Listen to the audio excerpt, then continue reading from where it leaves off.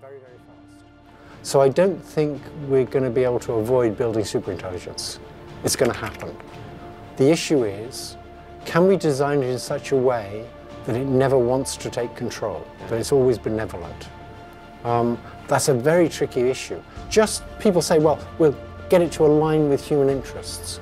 But human interests don't align with each other. Mean, if I say I've got two lines at right angle, and I want you to show me a line parallel to both of them, that's kind of tricky, right? So how are you going to get AI to align with human interests? Human interests don't align with each other. So that's one problem. It's going to be very hard to figure out how to get superintelligence that doesn't want to take over and doesn't want to ever hurt us. Um, but we should certainly try.